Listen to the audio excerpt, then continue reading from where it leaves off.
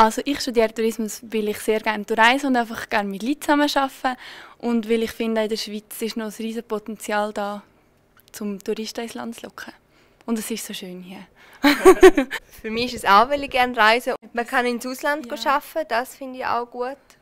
Und man lernt einen Haufen Leute kennen. Weil ich mega gerne reise. Es ist meine Leidenschaft und ich habe mir vor ein paar Jahren überlegt, dass ich meine Leidenschaft eigentlich gerne mit dem Job möchte verbinden und bin dann auf ein Tourismusstudium gekommen, weil es dann auch die Möglichkeit gibt, äh, im Ausland auch arbeiten gehen können und halt auch viele Kulturen kennenlernen, die Länder und so, was wir auch in der Schule intensiv durchnehmen.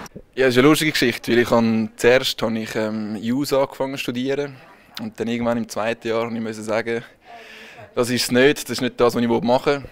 Und dann habe ich überlegt, was ich denn gerne mache und das ist Reisen, fremde Kulturen kennenlernen. Und somit war es eigentlich relativ naheliegend, dass ich da Tourismus studiere in Zürich.